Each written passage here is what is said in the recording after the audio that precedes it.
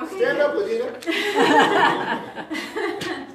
so, oh, so the uh, oh, you wanted me to here. Here's my shirt. Yep. Penguin. She's a penguin fanatic. I'm a I'm a penguin person. I've I've been collecting them since I was like ten or something. It's crazy. Anyways, And she talks to him. I no. I, I love them because they're very resilient Oh, nice. and they're graceful in water, although they're not on land. But I digress. So, lawyers. The way they walk. So, yes. So anyway, um, the uh, the theme tonight uh, that, that, that Tom chose, and uh, the only details I have are um, talking about how God, um, we're like stones in a river, and the water goes by, and slowly you'll notice the ones in the rivers and the ones in the waters, they become very smooth and very rounded, and that's kind of what God does with us. He kind of smooths out the rough edges, but it's not easy. It's a slow process. It kind of works us over and, and you know rubs rubs us through a lot of bad stuff in our lives. And so I uh, was ruminating about my own journey and um, thinking about how the Lord has definitely smoothed some rough edges the last few years. Um, with um, you know, this last week was kind of a kind of a milestone, weird one. Um, this past Tuesday was the uh, one year anniversary of the uh, divorce getting signed, and so it's kind of weird. Um, but God has gotten me through this whole time, the whole time of having to leave my abusive husband and trying to then work things out with him, wait for him to make better decisions, to treat me better, to get with God and be the man that God wanted him to be, it just didn't happen. And um, I prayed, and it's not the right decision for everyone to make, but for me, it was okay for me to walk away and, and make a new life with just me and the Lord. And it's been a blessing, but there was a lot of bumps in the road, a lot of tears, and it was not an easy decision. Lord's been with me the whole time, and definitely smoothed a lot of what was going on in my own self, my part in the failed relationship, but and it's just made me stronger. And so my hope is that you guys go through the same thing, you know, here, just uh, whatever's brought you to this point, God's smoothing you and that you're open to it. So without further ado, uh, I wrote a new poem. Once again, like five by six. I was like frantically trying to finish it and get it all printed and, and uh, save everything, close all the windows, and make my way here. So um, this one is called um, Go With His Flow. Thinking back over these past few years, I am filled with awesome wonder to see how the Lord worked through pain and tears to refine and slowly reshape me. Like a rock in a river or stream, the current of life swiftly flows. Below the water's surface gleam, there's a spiritual undertow. Troubles like sediment and sand scraped along this jagged stone, teaching me to trust and understand who I am and that I'm not alone. Through our struggles, God can soften the edges of self-doubt and fear.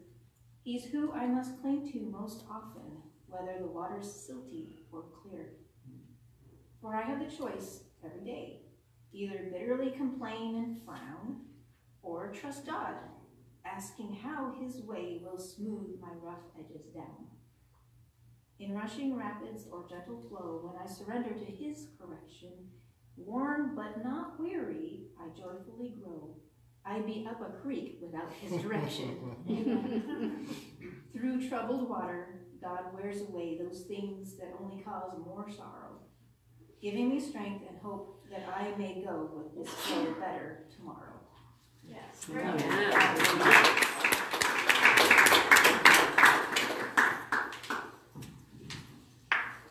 Talk about rocks tonight. okay, everyone, me. There ain't no party like Simonka, party Simonka, party don't stop. Woo woo! Thank you. Thank you, woo woo. So I was, uh, I was at the Malala River once. Uh, I won't tell you why, it's a weird story, but uh, I found the coolest rock. It's perfectly round. Huh. And it, it weighs about more than baseball. But it's, I've, I've had this thing for, I don't know, 20 years. Uh, I, I just couldn't believe to find a rock that's perfect, almost perfectly round. you don't, you know, it's perfectly round. Most rocks start like this, Yes. right? This is a nice little rock. And we're talking about rocks tonight because I was praying about, I always pray about what I'm going to talk to you folks about. And uh, I was going to talk about, like Ladina said, how these rocks go from this to this. And how we start out like this turn into this. And I'm going to talk about why that's important. Why not just stay like this? A little rock. Why, why do you want to be this? So we're going to talk about what God does and how it works and all that kind of fun stuff tonight. And I want you to be thinking, because I got an exercise when you're done, woo, uh, uh, to help you out a little bit, because you know I'm that way with you guys. So there's two ways rocks go from being like craggly old hard rocks to these nice smooth round rocks. One is water.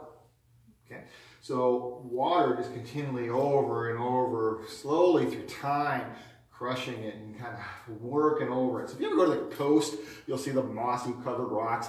Tide comes in, tide comes in. Thousands of years, it just it wipe, it worries it down, right? It works it down. The other way is a little bit more violent. Rocks, like in a river, bang into each other. Mm-hmm. And there's friction. And as they're banging into each other and rolling around, sharp, uh, it, it, it smooths out. It smooths out. And, and so when you go to the river, like Ladine was saying, you find a lot of smooth rocks. If you go uh, to like where we went to tonight to get this one, it, it's just you, you know more that. What do you do with this thing, right? Rust up. so so when I think about how that relates to us, water going over a rock over time our life circumstances. They bang into us and they rush over us, it's a constant thing, isn't it? We're constantly underwater with our life circumstances. They're constantly overturning us and rolling us and kind of coming over us.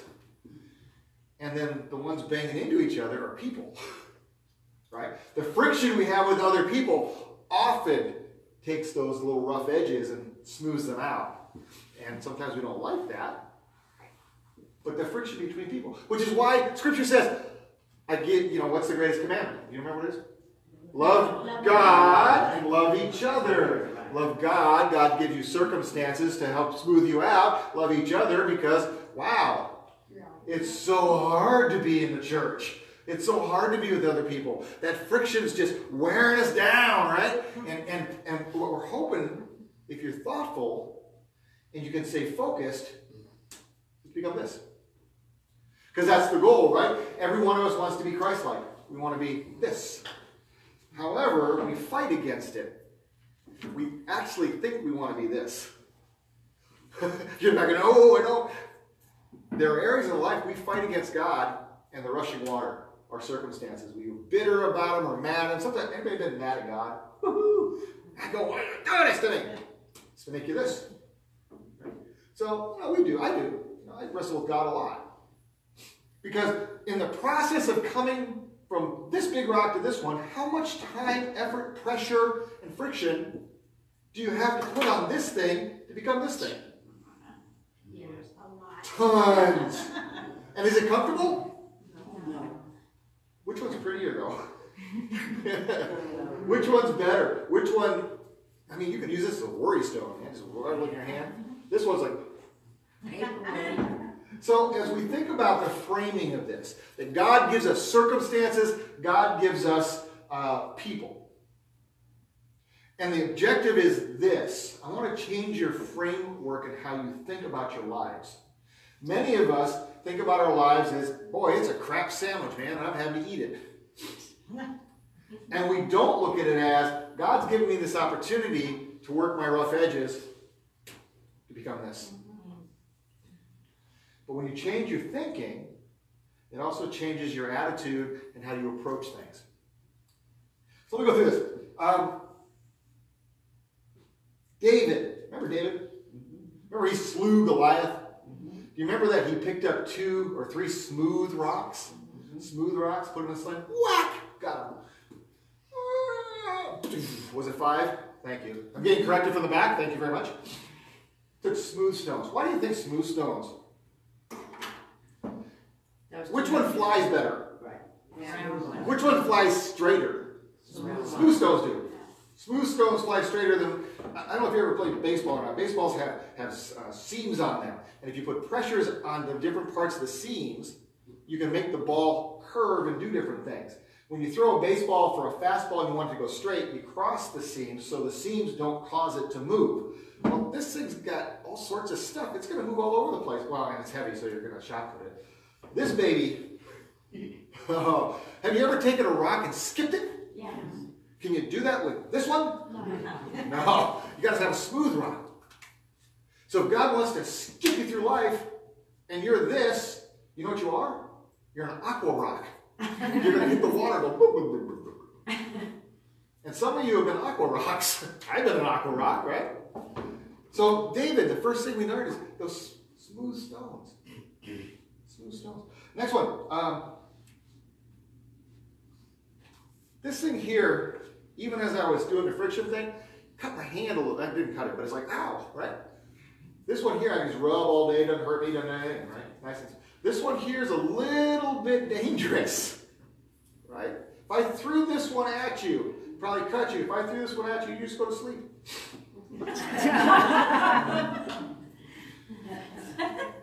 These hard ones with the edges and things are, are, are if you friction against them, you're going to hurt somebody. Yeah.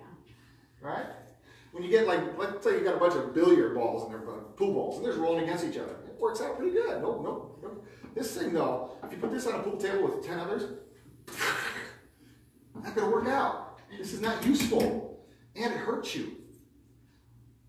I want to be this. I want to be a person that when I'm frictioning with you guys, when I'm around you, that I just roll off you. When someone tries to hit me, I just roll with punches. I just smooth. I don't want to be this guy go, hey Tom. That's my forehead. You ever have those flat forehead moments? That's how we are sometimes with God, aren't we? Right? We're just like flat forehead, oh God, oh God. I want to be this guy. I want life circumstances to roll over me like water. I want the people that are friction, because remember there are extra grace required people? When they hit me, I just roll. Roll with them. Mm-hmm. I want to be this guy. But I got to be smoothed out. that is so funny. I won't even share what I'm seeing. I love you guys. I just gotta tell you that. You're the best people ever. So think about this. How do we rough, how do our rough edges get smoothed out? Oh, it's tough. We suffer the consequences of our actions. Oh, that's a brutal one, isn't it? Yeah. We make a decision, we think it's a good one, it turns out to be a bad one, and a little piece goes. Oh, how many of you have suffered badly the consequences of your actions? Oh, yeah. Now, did it smooth you a little bit? A lot Did you learn? Some people don't learn. Some people need a lot of chiseling. Right? We learn to forgive people when people trespass against us. How do you forgive someone who hasn't screwed you over? You can't. You got to forgive people that have messed you up, right? And God gives you the opportunity almost daily to forgive people, doesn't He? Yes. You have an opportunity to excel every day. Somebody trespasses against you, and then you get to forgive. Every time you forgive, you become a little rounder. Every time you learn that that friction's hitting you, and someone's being jerky or doing the wrong thing, you get to be a little rounder. Or you can choose to be this. Because it's all a choice. Another way. A rock doesn't want to stay still. Ever been offended by somebody? Oh, yeah. Oh, yeah. You know, Scripture says don't be offended. So every time someone offends you, you have the opportunity to become a little more round. By taking a deep breath, holding your nose, and not being offended. Right? Become a little more round, a little bit more useful to God. Ever been judged? Yeah. That sucks. I know. I'm. That's you know. People question your motives and all that kind of stuff. Mm-hmm. Every time someone judges you, God gives you the opportunity to become a little more round, because He's chipping away at your pride, your ego, your emotions, and slowly but surely, if you can work through the problems, you get this. Anybody never show you grace? No one ever give you a break? Remember, grace is getting something you didn't earn, right? So people withhold grace. They give exactly what you earn, even though they don't give you a break. What we should be learning as Christians is I don't like that feeling. I don't like the feeling of not being shown grace. So I'm going to show others grace. Because I'm going to treat others the way I want to be treated. Same with mercy. Mercy is not getting what you should have got. So with mercy, we show mercy, we become a little more round every time we don't give somebody what they deserve. Scripture says, leave room for God, right? I always tell people, as mad as I get at people sometimes, is this life is frustrating. The friction of people is frustrating. And God's rounding me out, God's rounding me out, God's rounding me out. And I remember that God's justice is so perfect that no matter what I did, whatever God's going to do is better. No matter what I could come up with, and believe me, I come up with some creative stuff. God's justice is better. And every time I defer to God, every time I do His will instead of mine, every time I do what Jesus told me to, He says, if you love me, you'll obey my commands. Every time I do that, I become a little bit more round. A little bit more round.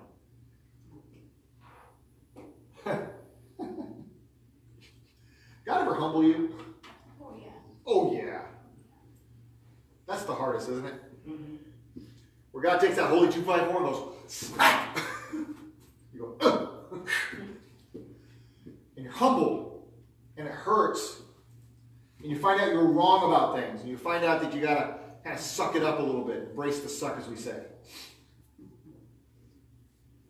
God does that not because he hates you or is mad at you. God's not mad at you. He doesn't want to leave you here. He wants you to be this. Right? He wants you to be this, not this. See, I always tell people, God loves you right where you are. But he loves you enough not to leave you there. If you stay here, your fault, not his. Now, you saw how my rock rolled? The rounder you get, the temptation is to backslide, roll backwards, isn't it? Because this was fun. This was stable. When I drop this rock, it's not going anywhere, is it? No. There's, there's, there's stability in it. Have you ever noticed that people in dysfunction are super comfortable, in their dysfunction, and they'd rather stay in the dysfunction, with no matter how damaging it is to them, than risk and roll away? And this is why Scripture talks about faith. Blessed are those who have, be- have believed and not seen, who step out in faith, who trust that this round rock is going to be cared for by Jesus. But we like this because it's not movable and comfortable here. I'm just a, you know, you're just this heavy rock. You'll make a great doorstop. but that's not what God created you for. You're not created to be a doorstop. You're created to be this nice round rock that God can use for all sorts of purposes. So humility is another place. Oh, how many of you have not been loved?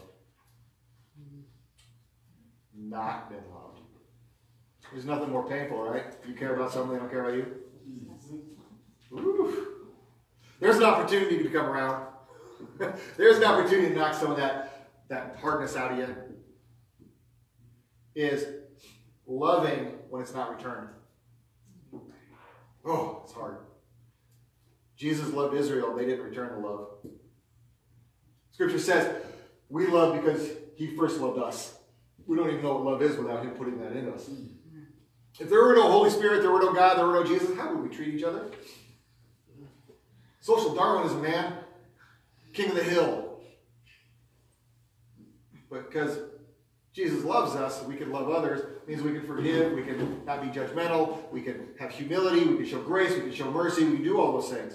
Because honestly, if there were not, if, if any of this were not true, man, the things we'd all be doing, right? If there were no guardrails, woo! What a party that would be. How about this one? We all say in the Christian faith we want to be like Jesus, but I don't think anybody realizes what that is. Nice, it's nice church rhetoric, but to be like Jesus is to sacrifice yourself totally. To be selfless instead of selfish. And it's an impossibility to completely get there in our lives. You ever see those dog toys? We got them for our dogs, the little balls that are spiny. call them spiny balls because they're spiny and they're a ball. We're created that way. And these spiny balls are round, but they're spiny. And that's kind of like us. I should have brought one. Spiny ball. We're rounding, we're rounding, we're rounding, but there's all these little spiny things coming out of us that are not worn down. Partly because we're works in progress. Partly because we like that part of the spine, right? We don't really give that up yet. Partly because that whole being like Jesus thing's brutal. Jesus said, they'll hate you because they hated me. You're going to have trouble in this world. You got to die in this world. It, it's run by Satan, and he's trying to kill you. You're going to be separated, sanctified. You're going to be different than everyone else. They're going to think you fools. And when we hear that, sometimes it goes, and we want to fire back at them, right? And Jesus says, nope. Be this.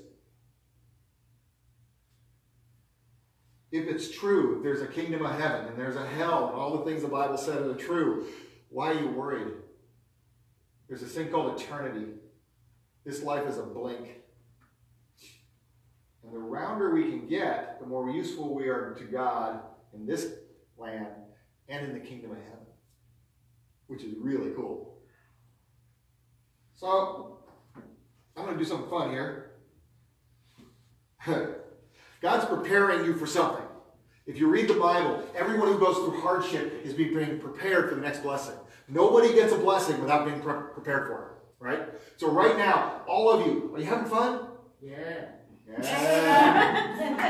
yeah. God's preparing all of you. You're in a place here where God's preparing you. You have a blessing around the corner. And you have to decide if God's going to let you get rounded enough to get it. Because some of you aren't round enough to get it. You can't roll through that door. You're more like this, going clunkety, clunkety, clunkety, clunkety.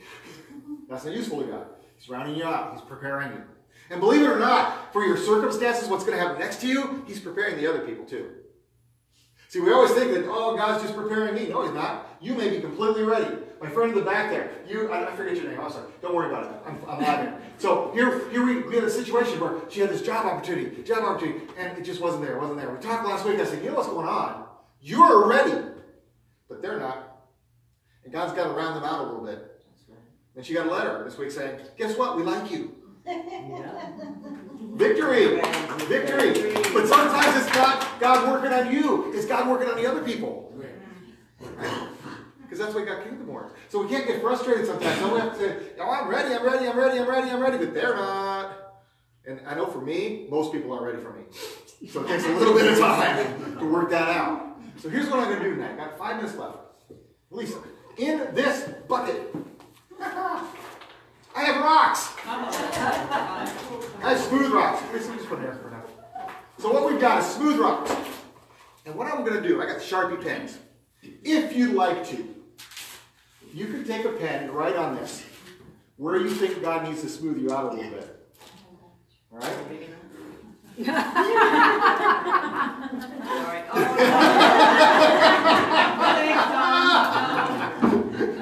Maybe pick one. And the reason is, I did this, I had a pastor do something similar to me probably 10, 12 years ago, more than that maybe. I have a shard of pottery that sits on my desk by my computer, and it says, Lead me. Because I got this shard of pottery, and we are the clay, and God is the, is the potter, right? And He shapes us. And I wanted God at that moment in my life, I was in a place where it was like, I need more leading. I need to be less. He needs to be more.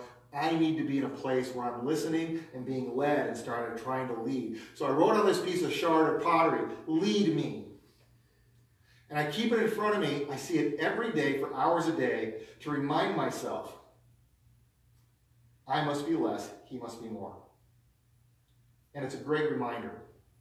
So if you're wanting to, and we're going to turn off the video so we can do this in a second, you can take your rock and write a little note. And you can keep that. Keep it in your pocket, keep it anywhere you want it. That will help remind you where it is that you got some rough edges.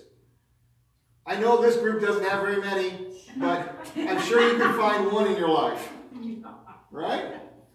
And it's a great exercise just to, to be able to do that. Then I want you to hold that rock once you write on it and pray. Pray that God does a work in you so that you become from this to this. And let me share with you. In my prayer life, I do this all the time. I still have a lot, a lot of rough edges. And even at 54 years old, I'm trying to be this. And I'm going through things right now where I'm wrestling with God. And God has given me people. Marriage is the best incubator for this. To rough, to, you know, round out my rough edges. God's given me circumstances in my life to round me out. And I gotta be honest, it's not that fun sometimes. But the outcome is outstanding. So, we're turning off the video. Come on up and grab a rock if you want, if you want to do that, and go ahead and uh, write down whatever you want. If you're if you're if you're too rough around ice cream,